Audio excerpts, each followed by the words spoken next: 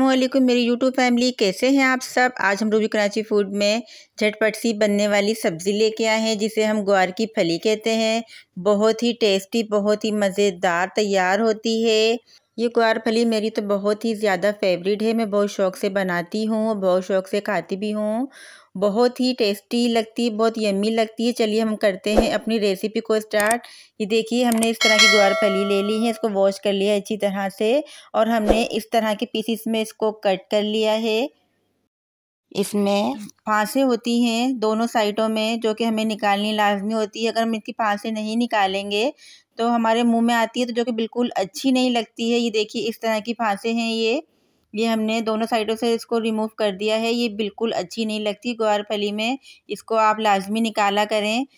Half के जी हमने ग्वार फली ली थी, जिसे कट करके हमने पानी में डीप कर दिया है।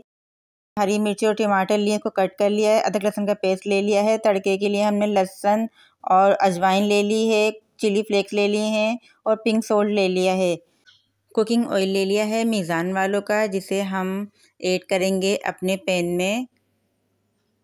आप अपने हिसाब से कुकिंग ऑयल ऐड कर सकते हैं। आपको जितना पसंद हो, मुझे जितना पसंद है, मैं अपने हिसाब से ऐड कर रही हूँ। अब हमने इसमें चॉप गार्लिक ऐड कर देना है। और इसको हमने गोल्डन सा कलर देना है। चला लेंगे, जिसके लिए हम अच्छी तरह से, ताकि हमारा लहसन अच्छी तरह से गोल्डन फ्राई हो जाए। साथ ही साथ हमने इसमें अजवाइन हाथों की मदद से क्रश करके ऐड की है। जब हम इसको क्रश करके डालते हैं, अजवाइन को तो बहुत अच्छी सी खुशबू आती है इसमें, जो कि बहुत ही अच्छी लगती है। ये देखिए, गोल्डन सा कलर आ गया है हमारे लहसन में। अब हमने इसमें लहसुन अदरक का पेस्ट को ऐड कर लिया है। साथ ही साथ हमने टमाटर और हरी मिर्च को भी ऐड कर लिया है।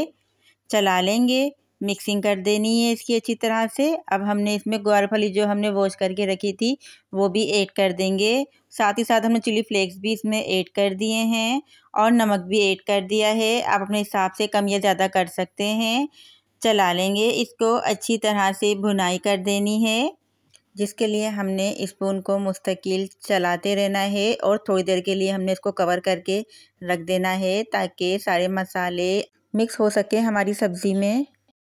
चला लेंगे। अच्छी तरह से इसकी मिक्सिंग कर देनी है। ये देखिए, फलियों ने अपना पानी भी रिलीज़ कर दिया है थोड़ा, लेकिन अभी हमने इसमें थोड़ा पानी और ऐड कर देना है ताकि फलियाँ अच्छी तरह से कुक हो सकें, गल जाएँ, अच्छी तरह से चला लेंगे। मिक्सिंग कर देनी है। ये देखिए, बस इतना ही पानी रखिएगा, ज़्यादा पानी इसमें ऐड नहीं होता है, वरना फलियों का भुरता बन जाएगा, जो कि बिल्कुल अच्छा नहीं लगेगा, ना देखने में, ना खाने में। अब हमने इसको कवर करके रख दिया था, ये चेक कर लिया है हमने। अभी फलियाँ हमारी गली नहीं है, अभी इसकी मिक्सिंग कर देने के बाद दोबारा से हमने इसको कवर करके रख देना है, ताकि बहुत अच्छी तरह से फलियाँ गल भी जाएँ, और पानी भी इसका खुश्क हो जाए। देखिए, पानी अभी भी इसमें बाकी है। अभी हमने इसको चला के दोबारा से कवर करके रख देना है। जब तक सारा पानी ड्राई नहीं हो जाता, तब तक हमने इसको ऐसे चला के कवर करके रख देना है और चेकआउट करते रहना है। ये देखिए, फलियों में पानी बिल्कुल ड्राई हो गया है, अब पानी नहीं है।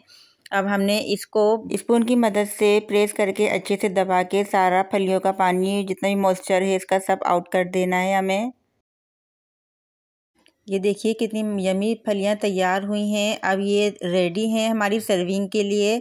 तो हमने इसको एक प्यारी सी डिश में डिश आउट कर लेना है। ये देखिए हमने डिश ली है। इसमें हमने सारी फलियाँ निकाल लेनी है डिश आउट कर लेना है।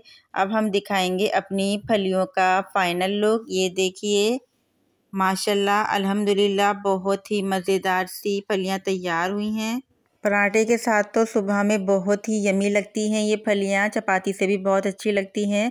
अगर आपको हमारी ग्वार की फली की रेसिपी अच्छी लगी है तो प्लीज़ मेरा चैनल रूबी कराची फ़ूड को ज़रूर सब्सक्राइब कीजिए लाइक कीजिए, दोस्तों में शेयर कीजिए और बेल आइकन को ऑल प्रेस करना ना भूलिए, क्योंकि इससे हमारी हर नई रेसिपी सबसे पहले बर वक्त आप तक पहुँचती दीजिए इजाज़त, अल्लाह हाफिज़।